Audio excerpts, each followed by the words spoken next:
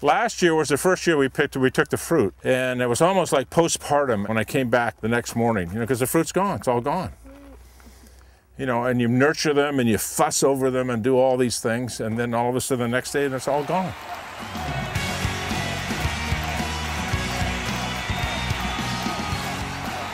I was in the middle of a hotshot career, about 28, you know, right at probably the height of my my playing days, and um, my brother-in-law asked me. He said, "Well, what are you going to do when you get done?" Knowing that you're going to be 40 years old and you still have a life, you know, what are you going to do? And off the top of my head, I said, "I'm going to go back to California and raise grapes." And I never forgot I said it. It was as simple as that. This is a raw piece of land when we started, and there were trees all through here. I do a lot of the physical work myself. Um, I don't do anything without the go-ahead from, from the vineyard manager and from the winemaker. The vineyard manager's name is Jim Barbour, and the winemaker is Thomas Brown. And I'm probably the smallest client that Jim Barbour has. I'm gonna get three little acres. They do all the technical stuff. I don't do it, and I would never presume to do it, you know.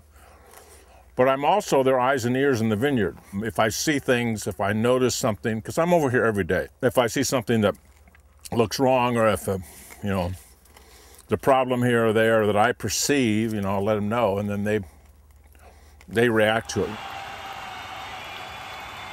A lot of the things that, that I do here are the same things uh, that I did when I was pitching, is attention to detail you get into the clubhouse the first year and you, you, know, you talk to the veterans and you say, what about this and what about that? Where can I improve, etc. Um, you know, and that's what I'm doing with my winemaker and my vineyard manager. It's, it's exactly the same thing. And I'm on a learning curve of this stuff. Skins are crunchy, which is very good. Uh, the, the seeds are browning up. The flavor is terrific.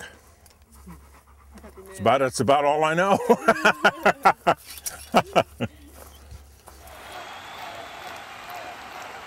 I enjoy the vineyard aspect of it more than the wine. I mean, the wine, the, the wine is going to be what it is. It should be really good.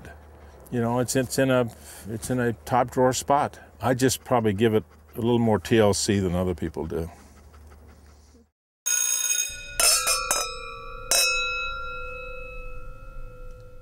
I'm gonna have to hand water these things today or tomorrow.